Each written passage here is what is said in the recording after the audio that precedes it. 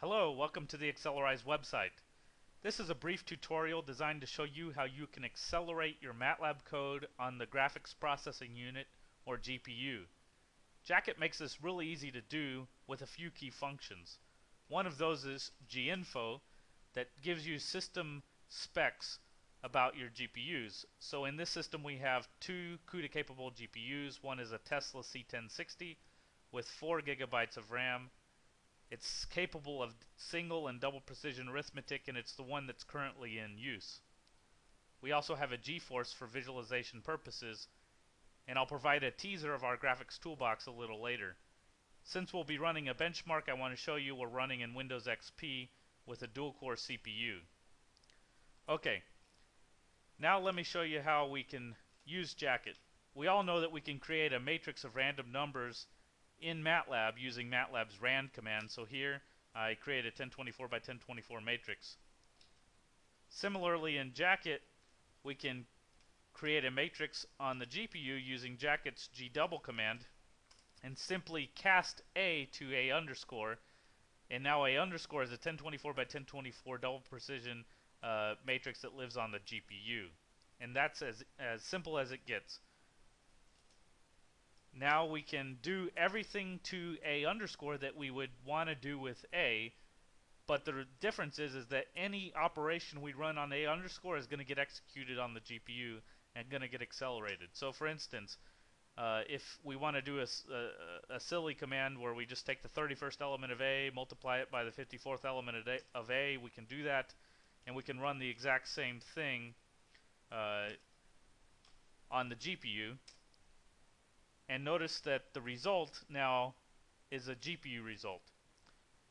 Any function that you run on a GPU value will result in a GPU value. And so if you chain a lot of functions together, you're going to get uh, optimized kernels running on the GPU with Jacket automatically for you. You don't have to do any GPU specific coding.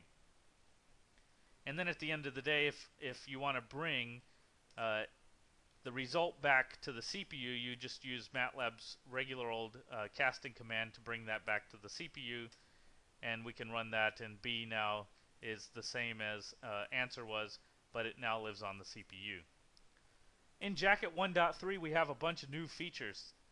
We have a, a lot of new linear algebra functions uh, with the Jacket DLA uh, add-on double precision linear algebra. Uh, we have LU, uh, QR, SVD, matrix inverse, uh, eigenvalue decomposition, and, and, and, many other functions. Uh, ML divide, for instance, uh, that will help you in solving linear systems. In this simple snippet of code, I'm going to benchmark the LU function for you right here. So I'm going to create a 1500 by 1500 matrix of random numbers in double precision on the CPU, uh, and then the GPU is also going to be double precision. I'm going to run that uh, for five iterations, uh, and then take the average to get the CPU time. And same exact code down here, with the exception of a few additions with the gsync and gevals. Uh, these are necessary uh, to get an accurate timing due to Jacket's lazy evaluation optimization that it makes. These are only these keywords gsync and geval are only needed when you're doing timing of snippets of code. Uh, they're not needed in in general practice. Uh, and then at the end of the day, I'm going to print out the GPU speedup, which is the CPU time divided by the GPU time. Okay, so let's let's run this. The script is called lu underscore example. I'm going to run that. It'll take a few seconds, and boom, there we go. We got 4.5x speedup.